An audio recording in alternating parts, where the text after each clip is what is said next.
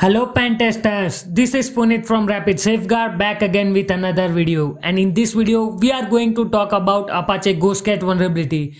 Before we start our video, I would like to introduce our platform called World Machines. This platform is for people who are willing to learn about real-time pen testing and CVE exploits.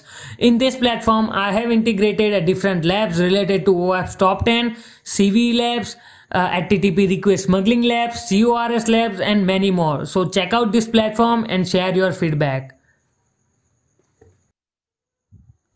Our first slide is what is AJP. So AJP stands for Apache JServe protocol and AJP is optimized version of uh, the HTTP protocol in binary form and used in the scenario that require clustering or reverse proxies. By default, it is enabled on port number 8009 and this protocol is a packet oriented TCP protocol.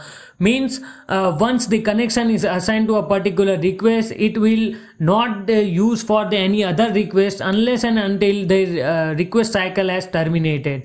Uh, and uh, in other words, uh, requests are not multiplexed over the connections. So this is all about the AJP and Apache JServe protocol. So CV 2020-1938 and it is also called a Ghostcat vulnerability. So Ghostcat vulnerability assign uh, this number CV 2020-1938.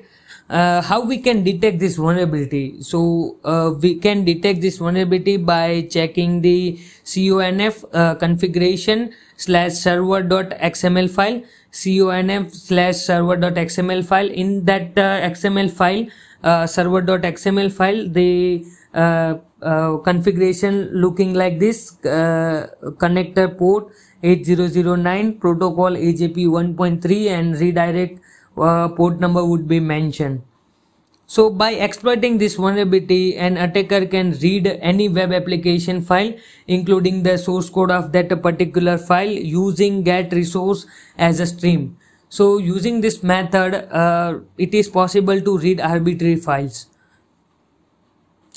So uh, when RC is possible using Ghostcat, if the application has a upload functionality, then attacker able to uh, upload the malicious file uh, to the server, including a JSP shell or any different shell, uh, and get the attacker uh, attacker get the system access.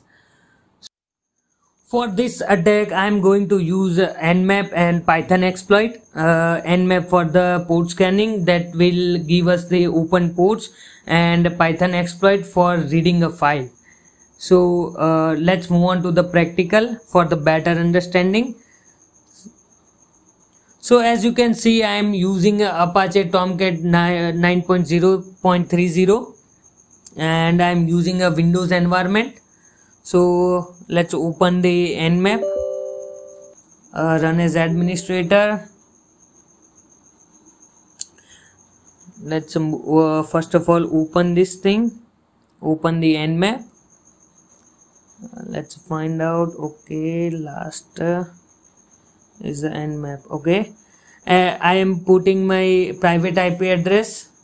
Giving my IP, private IP address 192.168.0.10 and uh, let's scan.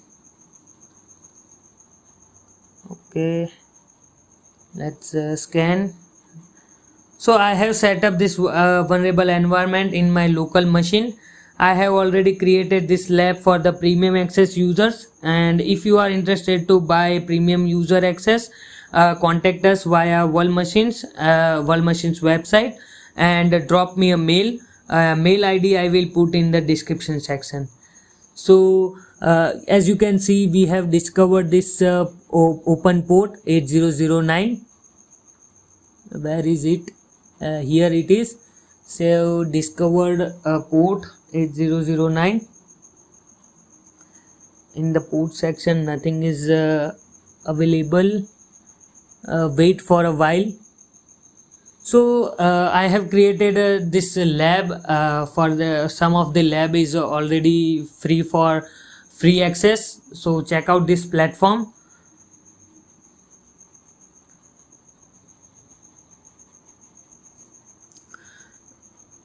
Okay.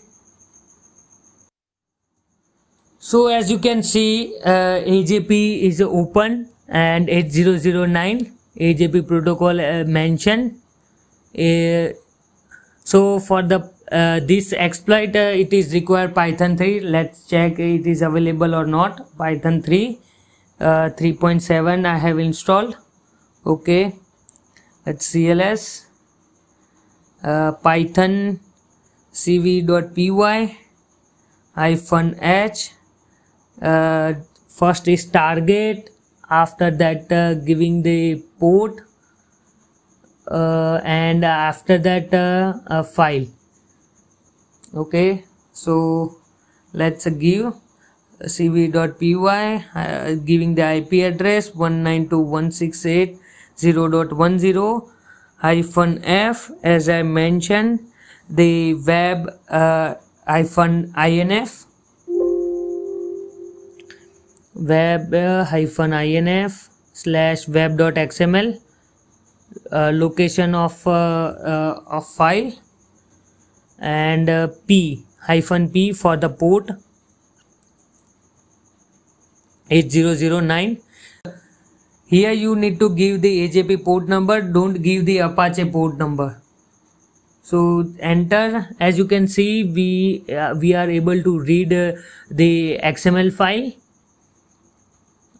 Web.xml file uh, we are able to read so just giving the random flag.txt and uh, we are going to use this uh, uh, we are going to read this file. Just giving the random string. Hi this is not readable file. Just giving a random string. Let's save. And uh, now we are going trying to read. I have stored in uh, web.inf file. So just giving a flag dot txt txt and check. So as you can see we are able to read this uh, high uh, file or flag file that a particular text file. Let's uh, check with a different file. Now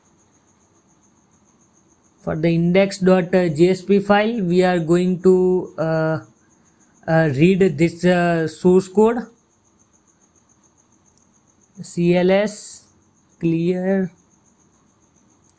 Uh, let's give index.jsp and click on enter.